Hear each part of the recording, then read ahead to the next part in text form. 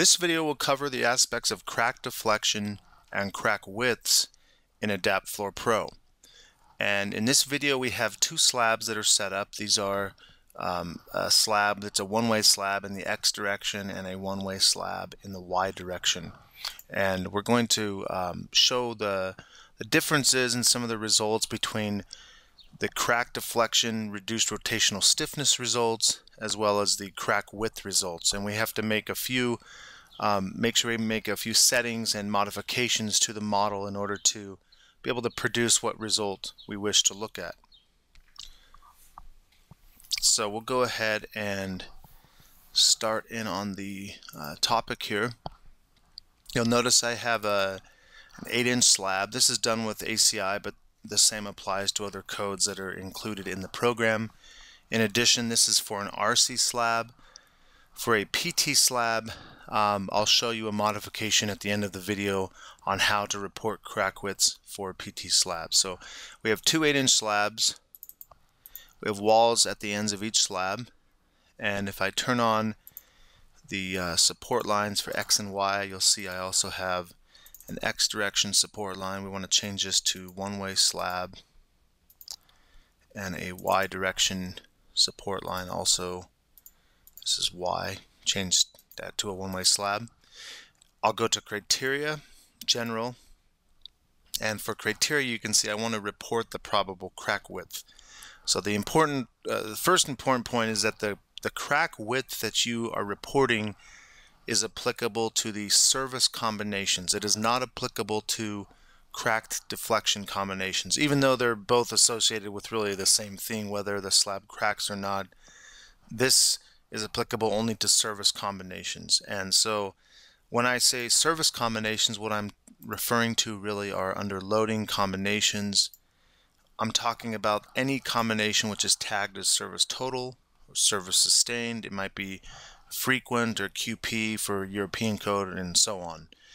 I'm not talking about crack deflection or long-term deflection for that matter. So crack deflection is its own check that requires a separate uh, an analysis run to produce the results but we can have some correlation between this particular result which in this case will produce a cracked um, slab and this result which will produce the um, the theoretical crack widths um, that would be presented for this particular slab and arrangement. So, so these the only way they're correlated is by their um, combination parts. We have sustained load, which is 1 times self weight, 1 times dead load, and 0.3 times live load. So we can make some um, judgments having these two combinations be identical in terms of what load cases they are including.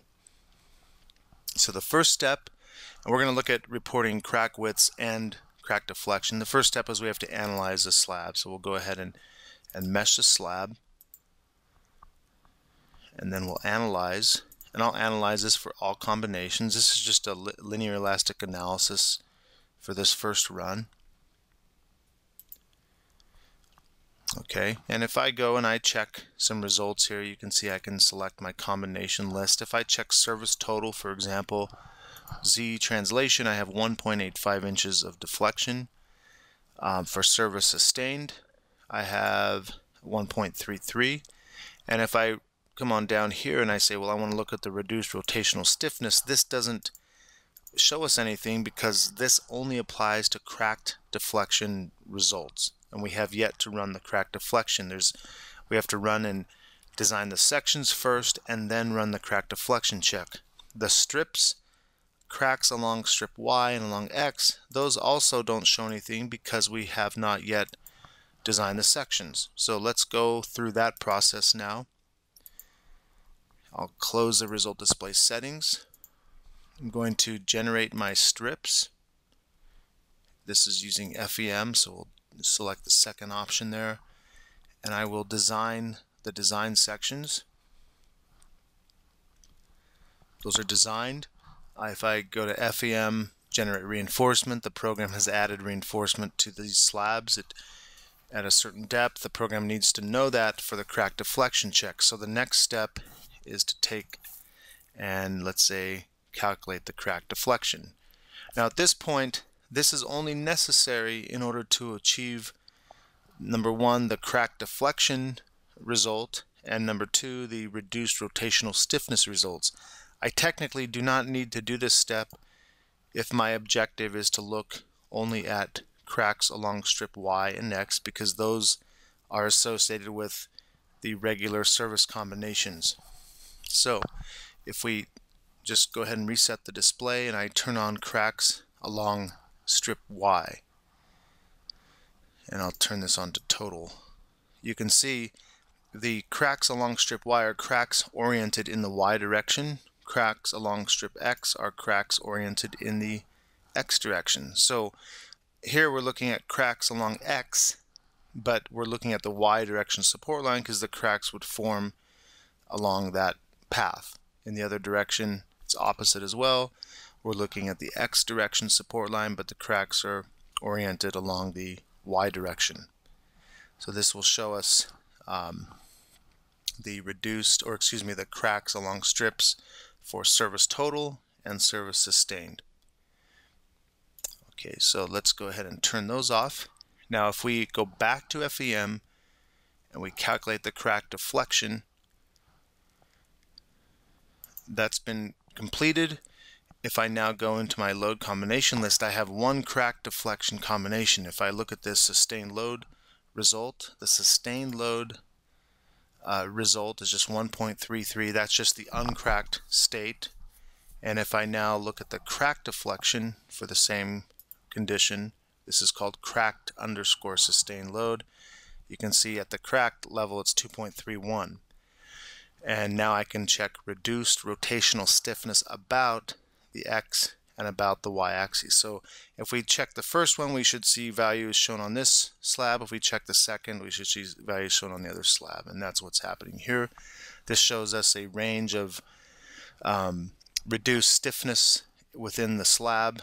In the this is about the x, like bending about the x direction, and then this is bending about the y direction, which applies to this slab.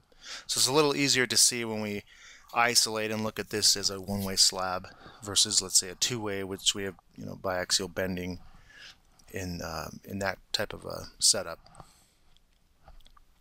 Now what's important to note here is if I go back and I try to correlate the results between the cracked sustained combination and the regular sustained combination you can see I have this this whole zone right here has been reduced to about 0.42 where it's all green and then it starts to go back up you know here at the inflection point let's say to zero and then it creeps back to have cracking near support where we have fixity.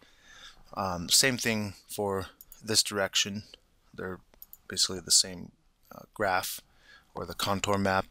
If we look at the cracks um, along the y direction for service sustained you should see a similar type of uh, pattern here. We have we have the maximum crack widths here in this zone where we have the most reduced rotational stiffness.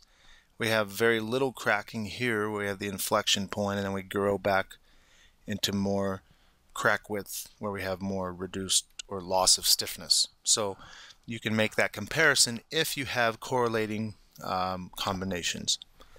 If you have any questions, please contact support at adaptsoft.com. Thank you.